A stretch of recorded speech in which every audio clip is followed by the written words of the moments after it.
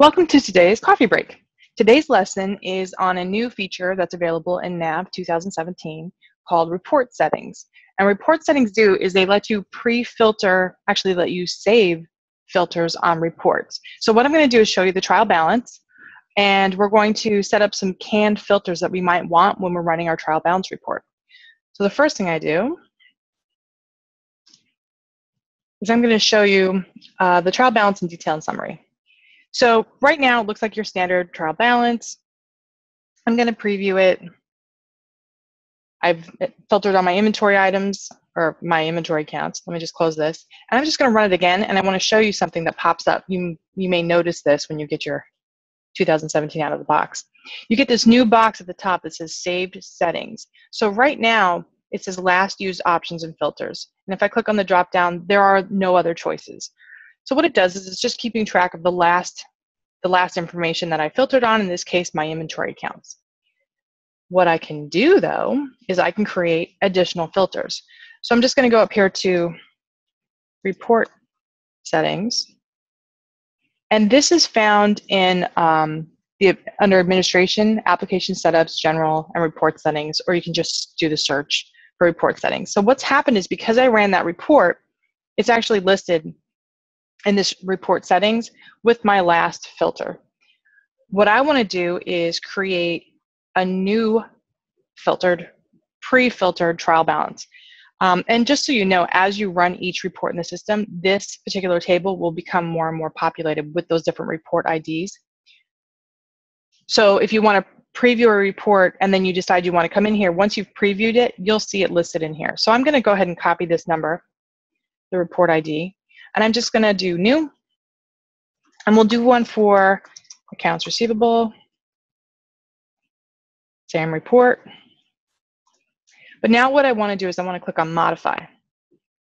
So I'm going to change my accounts to be my uh, accounts receivable accounts. We'll do domestic and we'll do foreign.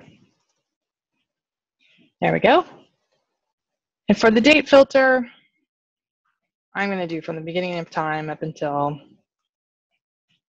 the last date in my, my test database here.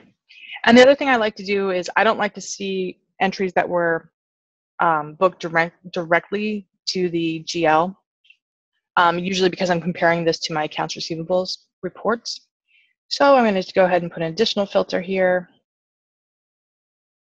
for my source code and say I don't want to see anything that was booked directly to these accounts through the general journal. I just click OK. So that's preset. Now I'm going to do the same thing for accounts payable.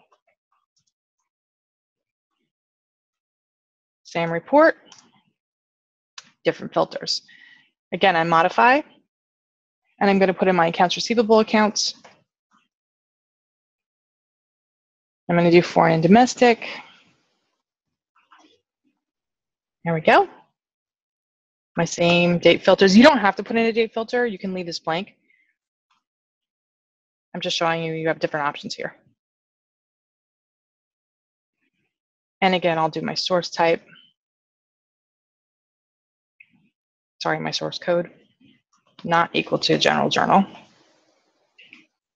Okay, so let's go back to the trial balance.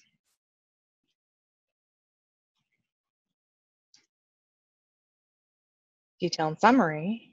And now I have a list of options in my Save Settings drop-down box. If I choose Accounts Payable, that information in the filter box gets updated according to the filters that I set in the report settings.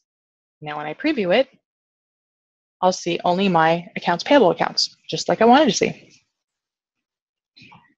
That's it. You can do that for any report in the system you can actually use uh, permissions to assign it to different people. But I just wanted to sort of introduce this new technology to you that's available in NAV 2017. A lot of people have been asking this for many, many years, so they'll be very happy to see this. I, uh, I, hope, I hope you enjoy this and take advantage of it. That concludes our lesson on setting up the report settings. Thanks for watching this ArcherPoint video. If you found it helpful, make sure to check out our website and blog at www.archerpoint.com. Additionally, if you have any questions regarding our products, services, or information in this video, feel free to email us at info at archerpoint.com. Thanks.